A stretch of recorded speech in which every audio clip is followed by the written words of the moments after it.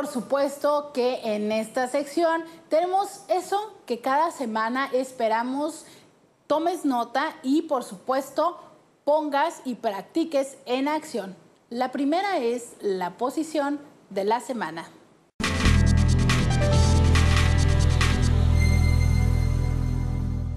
Esta posición se llama el ventilador y sucede de la siguiente forma. Esta es ideal para practicar en la regadera o para un rapidito donde ella encuentre donde apoyarse. Entonces ella se va a empinar o doblar apoyando sus codos en un sillón o en un banco. Sus hombros deberán estar por debajo de su cadera para que haga esta como curva y ella mostrará su cadera y genitales a él, que puede estar con las piernas cerradas o abiertas. Ella se acomoda por atrás y él la penetra tomándola de la cadera.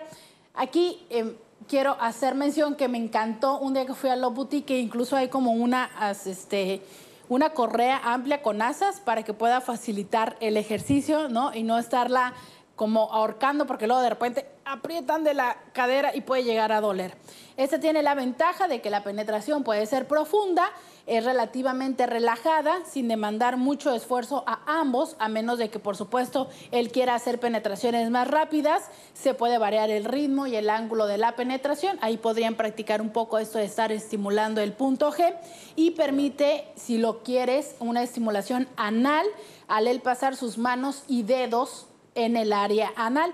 Para él puede ser visualmente muy excitante y bueno, aquí también será importante la posición que ella tome. Entre las desventajas está que bueno, no hay contacto visual entre la pareja. Ella puede rasparse los antebrazos si no pone mucha atención en dónde es que están practicando esa posición. Y la penetración puede ser profunda si él es muy largo o ella muy corta.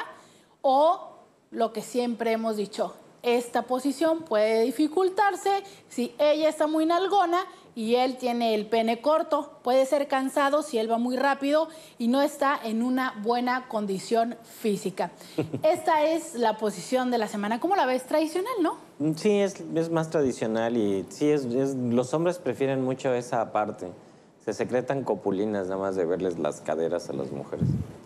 Y fíjate que es cierto esta parte donde el, hecho de ver el trasero, a mí me llama mucho la atención cuando las mujeres dicen, es que no me gusta, no me gusta que me pongan de perrito, ¿no? Porque es que se me ve el trasero. Y yo, claro, o sea, si para eso te están poniendo, para poder vértelo. Claro. Y además en esa postura todas las mujeres tienen trasero, ¿eh?